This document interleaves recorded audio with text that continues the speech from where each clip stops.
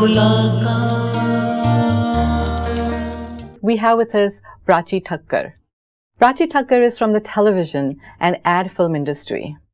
So let's all welcome her to the show. Welcome to the show, Miss Prachi. The privilege is all mine. What was your journey like coming to Brahma Kumaris? Is this your first visit here or you've been here before? Oh no, this is my first visit here. Okay. And it was just a coincidence. Uh, but it was a blissful experience, Mhm. very enriching. And it's given me a lot of power. It's given me the capability to look into myself, be more aware of my responsibilities, Mhm. not just towards myself, but also towards my loved ones. Because we're not here as just souls who live for ourselves. If we give, we receive. hmm And of course, it's a journey. It's a process. We need to work on it. Right, right. And uh, I think uh, Raj Yoga meditation gives you the power to work on it. Is your family also into Brahma Kumaris? I mean, are they, since you've been introduced like 2 to three months ago, um, are they also into Brahma Kumaris? Have they been introduced to the? My son uh, has a spiritual side to him, Mhm. which I'm very proud of. At this age, he really talks like a mature human being. Mm. He's very supportive, very understanding, very mature. So yes, he's also been attending Brahma Kumari classes and trying to understand the practical approach that they have. Mhm. I've introduced my mother as well, Mhm. but she's still in the process. Okay. But uh, uh, yes, we are spiritually inclined towards Okay. Brahma Kumaris. Um, since this is your first visit here, Mm-hmm. what was your experience like? I mean, being in Bombay Mhm. and going to a center close to your house and, um, you know, being part of the Brahma Kumari there, as opposed to being here, which is like the headquarters. And we call this not only the headquarters, this is Baba's home. You know, you've come to Mount Abu, which is like Mm-hmm. Yes, Baba's home. yes. What was the experience like being in this environment? It was blissful. Mhm. I guess that is what I needed. Uh, Bombay is a very fast city. And my kind of profession requires a lot of time, a lot of energy, and especially if you're a mother, it's like exhausting at times, very challenging. So when I came here, I had no expectations whatsoever. But it was a brilliant experience. Extremely positive, extremely blissful, and extremely enriching.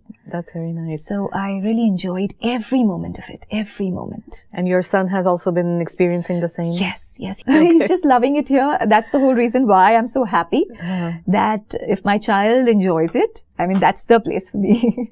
would you take um, anything back from here? Or let me rephrase. Mhm. What would you take back from here that you would bring to your friends and family and especially to your industry? Do you look at yourself as the spokesperson maybe for Brahma Kumaris where you can um, just, you know, because this industry is stressed no matter what. Mhm. Um, there's a lot of competition Mhm. and a lot of uh, stress. Do you think you can bring back some values and culture, whatever you've learned here, back to your profession? Oh, I would love to, to be honest. But I believe and with time I have realized that you can't really force anybody into anything. But yes, I would love to share my experiences because they're enriching enough for me. But yes, uh, when it comes to other people, uh, I would like to guide them, share my experience, but the rest is up to them. Mm-hmm.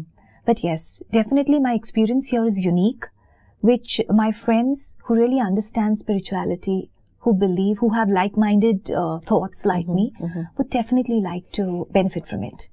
Actually, um, you know, when you said that, um, one question crossed my mind. Um, when you grow in a different culture, like say, for example, if you live in the U.S. and uh, you are of the Indian origin, for example, Yes. um, there is always a little bit of friction in the sense um, that adjustment period takes place. Mhm. So when you were talking about that to me, I just realized that uh, being spiritual Mm-hmm. in this atmosphere, how does that play into that atmosphere? Does it kind of set you apart, or does it help you understand people better, or it makes you feel a little different from the rest? Because in an industry which is so insecure, where you don't know what you're doing tomorrow, when you have a holiday, when you can spend time with your loved ones, and uh, when you're at the top and when you're at the bottom, there's no idea of what's going to happen tomorrow. Mhm.